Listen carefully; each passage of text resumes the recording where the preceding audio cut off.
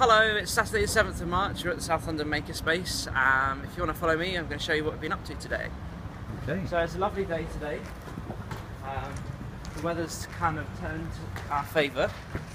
Um, and we've just started doing is over here you can see uh, where we've got our electrical coming in. We've sort of neatened that up into one space and begun putting in these. Um, what are these? Uh, Timber four- stud work. Four by twos. Yeah, four by twos. four by twos uh, onto the wall with these battens so we can put insulation and then eventually we'll panel that out with MDF sheets, uh, not MDF plywood sheets, sorry.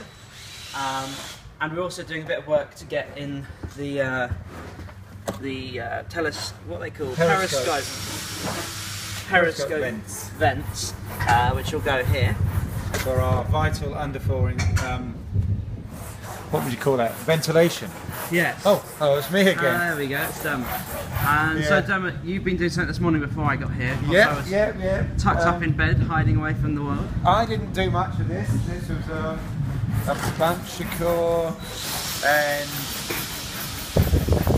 I, I shouldn't try and mention them all, should I? Because I'm, I'm making this.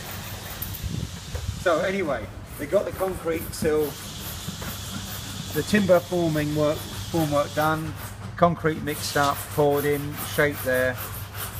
Um, that's going to be the, the base for our front door win- and windows.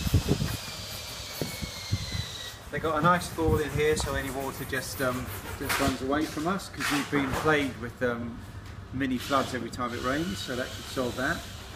And um, yeah, it's gonna they made a nice job of it.